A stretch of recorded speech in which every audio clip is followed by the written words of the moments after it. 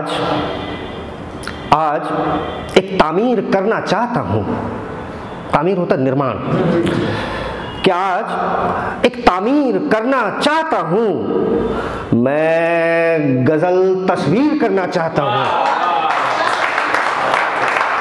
क्या आज एक तामीर करना चाहता हूँ? मैं गज़ल तस्वीर करना चाहता हूँ। और है तजुर्बे इश्क के जिन जिन खतों में के हैं तजुर्बे इश्क के जिन जिन खतों में आपकी जागीर करना चाहता हूँ। के हैं तजुर्बे इश्क के जिन जिन खतों में आपकी जागीर करना चाहता हूँ। और अब एटीट्यूड देखिए कि ये कलम घिसकर, जिसे इन कागजों पर। ये कलम घिसकर, जिसे इन कागजों पर लफ्ज की शमशीर करना चाहता हूँ।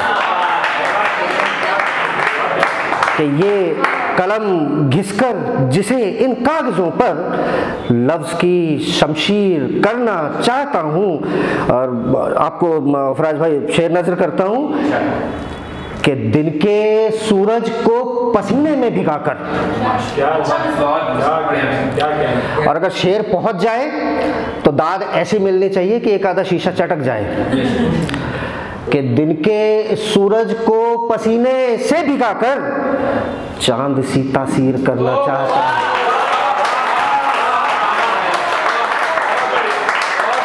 दिल के ये ये एटीट्यूड होना चाहिए शायर के अंदर, कि जब तक ये एटीट्यूड नहीं है, आप सामने वाले को बता ही नहीं सकते हो कि आप बोलना क्या चाह रहे हो। ये दर्द वर्द तो फिर प्यार होता रहता है तो दर्द भी आता रहता है बीच बीच में। तो शेर था कि कि दिन के सूरज को पसीने से भिगाकर चाँद सी तासीर करना चाहता हूँ, और शेर क्या जो बस जहन में घर बसा ले। कि शेर क्या?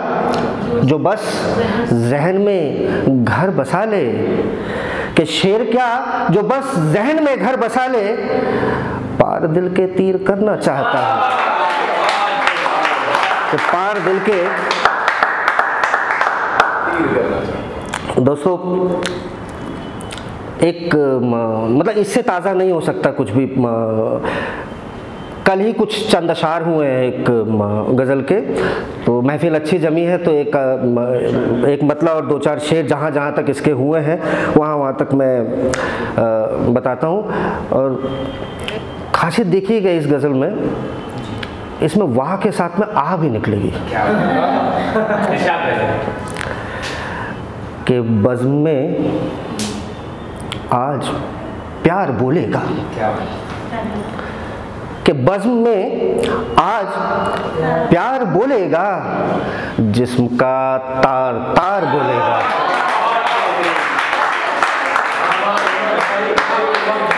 कि बज़म में आज प्यार बोलेगा जिस्म का तार तार बोलेगा और कुछ बहाने बचा लो हंसने के। कुछ बहाने बचा लो हंसने के। गम यहाँ बार बार बोलेगा कुछ कि कुछ बहाने बचा लो हंसने के। गम यहाँ बार बार बोलेगा और जान लूँगा या जान दे दूँगा। परम भाई संभालिए इसको। कि जान लूँगा या जान दे दूँगा। कि जान लूँगा या जान दे दूँगा ये तेरा एतबार बोलेगा।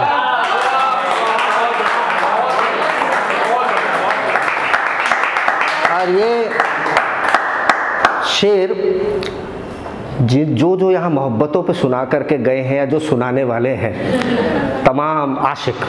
वैसे भी मैं शायर को बोलता हूँ कि ये लाइसेंस्ड ईव ट्रीजर होते हैं। इनको लड़कियाँ छेड़ने के लिए दाद मिलती है। और खुलेआम, सरेआम करते हैं ये काम, ये मैं भी करता हूँ तो इसमें कोई शर्म वाली बात नहीं है। तो ये ये शेर खासकर मोहब्बतों के शायर के लिए और वाह के साथ में आह ना निकले तो ये मेरा दावा है कि जिसमें कितनी ताब बाकी है। ताब होता है दर्द को झेलने की ताकत कि जिस, जिसमें कितनी ताब बाकी है। जो सबसे तेज वाह बोलेगा ना, समझना सबसे बड़ा आशिक वही है यहाँ पे। तो दावा यही है कि आपको मुँह बंद करने के लिए बोल दिया, लेकिन आप मुँह बंद नहीं कर पाएँगे। कि जिसमें कितनी ताब बाकी है, जिसमें कितनी ताब बाकी है, ये सितम का वकार बोलेगा। कि जिसमें कितनी ताब बाकी है, देखो दो ही आई आवाज़ एक यहाँ से आई, बहुत तेज, और एक परम भाई की आई, बहुत तेज। कि जिसमें कितनी ताब बाकी है, ये सितम का वकार बोलेगा। और एक शेर में ना, मैंने ज़िंदगी को समेटने की कोशिश करी है। अगर बात आप तक पहुँचे तो देखिए, हम उम्र भर लड़ते भिड़ते रहते हैं, हिंदू, मुसलमान, सिख, ईसाई, ये, वो, सो। लेकिन सच्चाई क्या है? मैंने कोशिश करी है बयां करने की। अगर बात पहुँचे तो दुआओं से नवाज़ दीजिएगा। कि है जलाना, इसे या दफनाना? कि है जलाना, इसे या दफनाना? लाश पर इख्तियार बोलेगा। कि जब मर गए किसको मालूम है वो उसको जलाना है या उसको दफनाना है? तो कौन बोलता है? जिसके अधिकार में वो लाश होती है ना? वही बोलता है। तो है जलाना, इसे या दफनाना, लाश पर इख्तियार बोलेगा। और मकता है कि हिजर के दौर में गज़ल कासिद।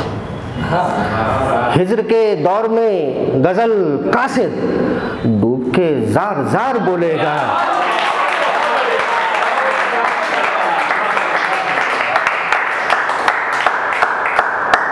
एक गज़ल से आप लोगों को रूबरू कराता हूँ। ये गज़ल असल में मेरी ये गज़ल परम भाई, एक अवार्ड विनिंग गज़ल है ये। एक एक महफिल में मैंने ये गज़ल कही थी। रदीफ़ मिला था हमको, ज़रूरी है तो मैंने कही थी और मैं बड़ा खुशकिस्मत था कि सुनील शाहबादी जैसे शायर वहाँ थे और खुदा ने उनका जहन जो है वो जब्त कर दिया और मेरे से ये गज़ल हो गई नहीं तो मेरा कोई वकार नहीं है उनके आगे कुछ भी कहने का। तो मैं गज़ल पेश करता हूँ और यहाँ से देखिए कि शायर के लिए क्या क्या ज़रूरी चीज़ें होती हैं, क्या मतलब कैसा होता है? कुछ दो चार, तीन चार शेर तो इसके ऐसे हैं कि अगर जो शायर, शायरी करना चाह रहे हैं, वो अपने जहन में बसा लें इसको बस। तो किसी सूरत रहो, चाहे नज़र आना ज़रूरी है। किसी सूरत रहो, चाहे नज़र आना ज़रूरी है। लिहाफे शोहरतों में जिसम महकाना ज़रूरी है। मतलब आप आप आप शायर हैं। आपके घर में रोटी बनाने के लिए आटा नहीं हो? लेकिन जब आप महफिल में जाएँ ना तो चमकदार कपड़े पहन के जाएँ, इत्र लगा के जाएँ, नहीं तो कोई आपको पूछने वाला नहीं है। तो कुछ इसी मिजाज पर लिखी है ये क्योंकि मैं हमेशा बोलता हूँ, गज़ल दो तरीके की होती है। एक जो सुनाई जाती है और एक जो सुनी जाती है। सुनी जो जाती थी, वो मैंने दो गज़ल आपको कुछ कुछ अशार मैंने सुना दिए हैं। ये वो गज़ल है जिसको सुनाया जाता है, इसको सुनते बहुत कम है लोग। कि किसी सूरत रहो, चाहे नज़र आना ज़रूरी है। लिहाफे शोहरतों में जिस्म महकाना ज़रूरी है। और ज़रूरी है ना अपना ही, न बेगाना ज़रूरी है। ज़रूरी है ना अपना ही, न बेगाना ज़रूरी है। हमें बस ये ज़िंदगी हर हाल अपनाना ज़रूरी है। और ये शायर की ज़िंदगी की सच्चाई है ये। अगला शेर। कि बहुत आसान है रास्ता शहर में अब कामयाबी का। हम गोरखपुर से शायर आते हैं हम आ, मतलब छोटे छोटे कस्बों से शायर आते हैं आकर के बहुत अच्छा लिखते हैं फराज भाई बहुत अच्छा लिखते हैं बहुत उम्दा लिखते हैं लेकिन यहाँ पर आकर के ना कहीं खो जाते हैं। वो क्यों खोते हैं? कि बहुत आसान है रास्ता शहर में अब कामयाबी का। मशक्क़त की ज़रूरत क्या? हाँ गिर जाना ज़रूरी है।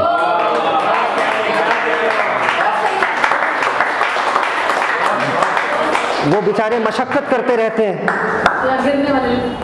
वो मशक्क़त करते रहते हैं और उनको कोई तवज्जो नहीं मिल पाती है। तो मजबूर हो जाता है शायर फिर ये शेर कहने के लिए कि कि बहुत छोटा है रास्ता शहर में अब कामयाबी का। मशक्क़त की ज़रूरत क्या? हाँ गिर जाना ज़रूरी है। और न जाने कौन आए काम कल किसको गिराने में। मिश्रा संभालिएगा जनाब कि न जाने कौन आए काम कल किसको गिराने में। अमल में साजिशें लाने को मैं खाना ज़रूरी है। ये सच्चाई बता रहा हूँ मैं आपको। ये हमारी हमारी सच्चाई है, ये साहित्य की दुनिया की सच्चाई है ये। कि न जाने कौन आए काम कल किसको गिराने में। अमल में साजिशें लाने को मैं खाना ज़रूरी है। और भटकती है जवानी रोज़ जब इंशाह रातों में। भटकती है जवानी रोज जब इंशाह रातों में। किसी सूरज का रातों को निकल आना ज़रूरी है। कि भटकती है भटकती है जवानी। भटकती है जवानी रोज जब इंशाह रातों में। किसी सूरज का रातों को निकल आना ज़रूरी है। और ये बहुत सच्चा शेर बता रहा हूँ मैं आपको। कभी शायरों को लड़ते हुए देखा है? तो कुछ नहीं देखा आपने। गली मोहल्ले में लड़ाई हो जाती है, वो अच्छी लगती है क्योंकि उनका वकार यही है। लेकिन जब शायर लड़ते हैं ना, ओह, तोबा, मत पूछो। अदब में गाली नहीं मिलती है फिर वहाँ पे तो सब कुछ बेअदब में होता है। तो मैं क्या कहता हूँ? मैं कहता हूँ कि फ़कत कि ज़रूरी गर ज़रूरी गर नहीं तो फिर लहू क्यों बहाएँ हम? ज़रूरी गर नहीं ज़रूरी गर नहीं हो तो लहू फिर क्यों बहाएँ हम? डराने के लिए तो थोड़ा गुर्राना ज़रूरी है।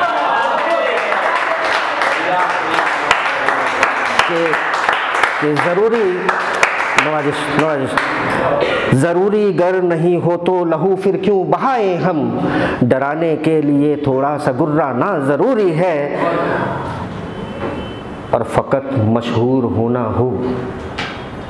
सबके लिए फ़कत मशहूर होना हो तो इतना जान ये साहब। फ़कत मशहूर होना हो तो इतना जान ये साहब। मोहब्बत हो या नफ़रत हो पर अफसाना ज़रूरी है। कि मोहब्बत हो या नफ़रत हो पर अफसाना ज़रूरी है। और मकता है कि, कि बुलंदी ने बुलंदी ने दिया है। बुलंदी ने दिया है ये हुनर भी अब उसे कासिद कि बुलंदी ने दिया है ये हुनर भी अब उसे कासिद खजाने के लिए तो घर में तहखाना ज़रूरी है।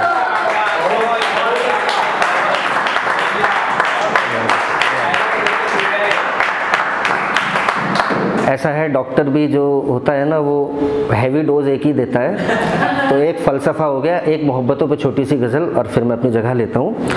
तो तरन्नुम में कहने की कोशिश करी है। और क्योंकि बहुत बहुत छोटी बहर है तो इसको अगर मैं तहत में भी पढ़ता तो वो समझ में नहीं मैं तोते की तरह बोल के चला जाता। नहीं होता। कहा आपसे कहा आपसे था जरा सुनो। और शेर देखिएगा एक इसके कहा, आपसे था जरा सुनो। मेरे दर्द दिल की सदा सुनो। आज शेर देखिए यहाँ से। किसी पेज में किसी पेज में हूँ दबा हुआ। किसी पेज में हूँ दबा हुआ। कभी खून से था लिखा सुनो।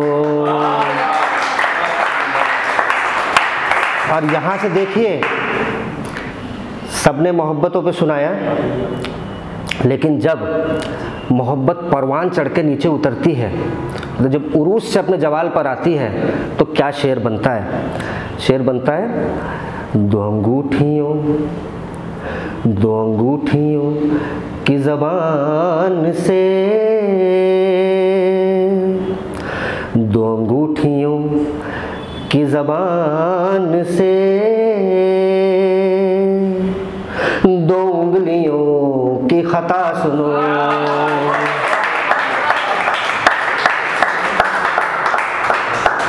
और भाई मेरा ये शेर एक तरफ़ और इस गज़ल के सारे शेर एक तरफ़। इतना बेहतरीन शेर है ये।